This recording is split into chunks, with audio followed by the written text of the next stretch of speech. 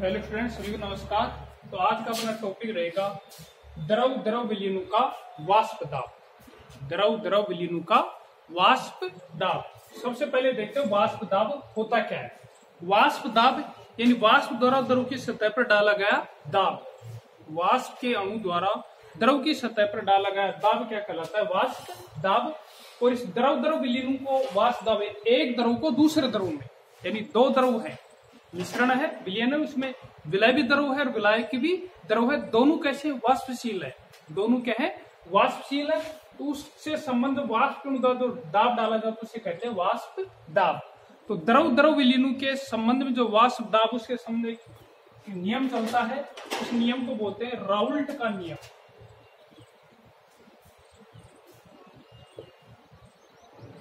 Raoult का नियम। यानी एक द्रव जो वाष्पशील है, दूसरा द्रव वो भी वाष्पशील है। दोनों का जो द्रव की सतह वाष्प दाब रहेगा, दोनों द्रव के वाष्प दाब का योगदान रहेगा। इस दोनों द्रव के वाष्प दाब के संबंध में जो वैज्ञानिक व्यक्ति राउल्ट, उसने एक नियम दिया, जिसे कहते हैं राउल्ट का नियम। इंपोर्टेंट टॉपिक है। राउल्ट का नियम क्वेश्चन आता है, राउल्ट का नियम लिखिए।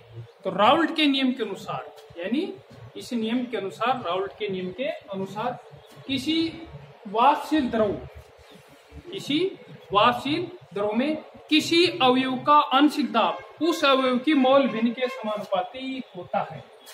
इस नियम के अनुसार किसी वाष्पशील द्रव में किसी अवयव या किसी घटक का आंशिक दाब उस अवयव की मोल भिन्न के समानुपाती होता है।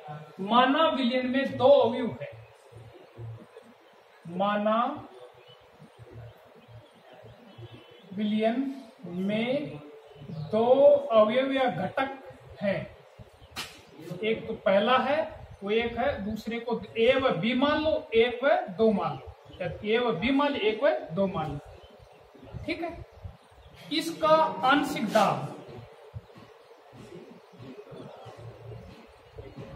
अवयव पहला, उसका आंशिक दाब क्या मान लिया? P1 इसका आंशिक दाब क्या होगा? P2 ठीक है?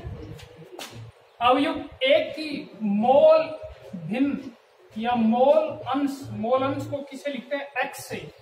तो इसकी मोल भिन्न क्या होगी? एक्स वन इसकी मोल भिन्न क्या आ जाएगी? एक्स टू किसी अवयव का आंशिक दाब उस अवयव की मोल भिन्न के समानुपाती होता है। कौन कहता है? राउल्ट का नियम। मानव विलियन दो घटक है, दो भी एक व दो। ए बी मान लो, फ़र्स्ट, सेकंड मान लो। तो घटक एक, पहले वाला का आंशिक दाब क्या होगा? P1 दूसरे में क्या हो जाएगा? P2 अब ये पहला का मोल अंश क्या है? एक्स मोल भिन्न किसे लिखते हैं? x से। तो इसके मोल भिन्न क्या हो जाएगा? एक्स वन, इसकी क्या हो जाएगी? X two. तो राउल्ट के नियम के अनुसार, इस घटक का आंशिक दाब इसकी मोल भिन्न के समानुपाती होगा इस घटक का आंशिक दाब इस की मोल भिन्न के समानुपाती होगा। तो राउल्ट के नियम से राउल्ट के नियम से क्या लिख सकते अपन? P1 वन समानुपाती X1 P1 समानुपाती X1 या P1 बराबर P1 note X1 P1 note X1 या P1 वन नोट क्या है? शुद्ध अवस्था में आंशिक दाब। P1 क्या है? P1 वन नोट बराबर शुद्ध अवस्था में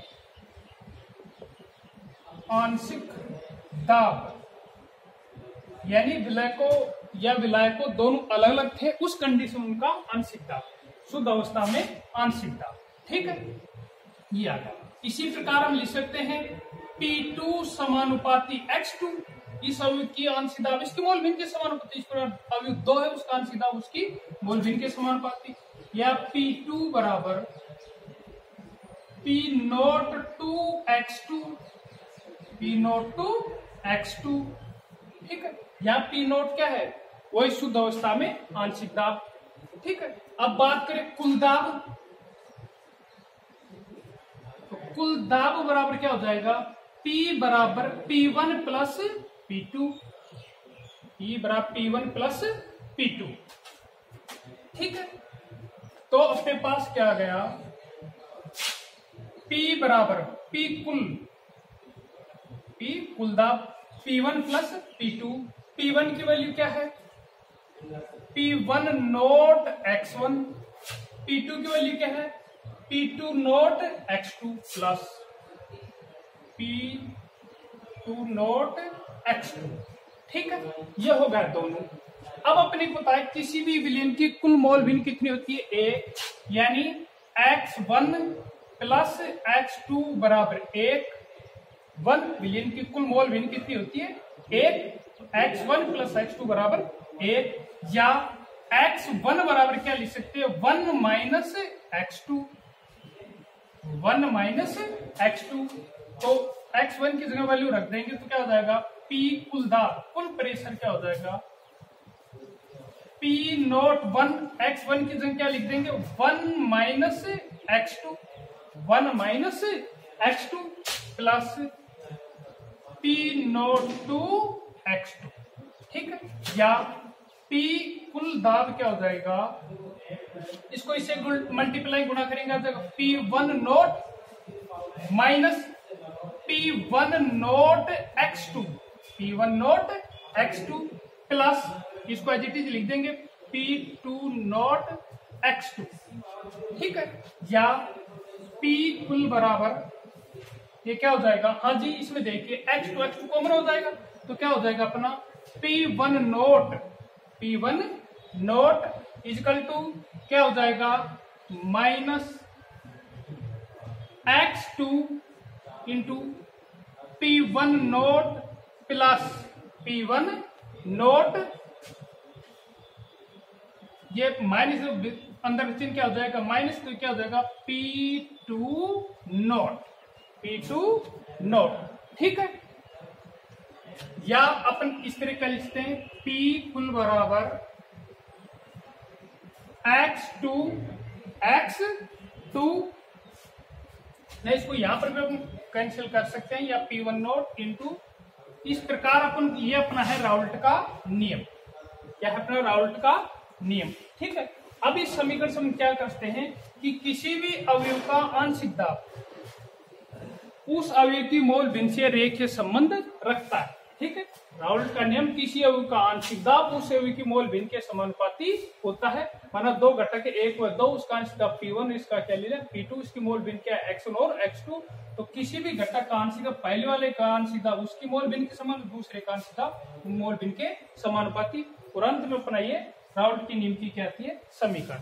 यानी किसी की विलयता उस घटक की साथ रेख के संबंध रखती है। यानी किसी विलियन के कुल वाष्प दाब को, किसी विलियन के कुल वाष्प दाब को, उस विलियन के अवयव के मोल अंश से संबंधित किया जा सकता है। किसी अवयव के कुल आंशिक दाब को, उस अवयव की मोल भिन्न से के संबंधित किया जा सकता है। ठीक है? यह तो था अपना का नियम। आज के लिए इतना ही। धन्यवाद।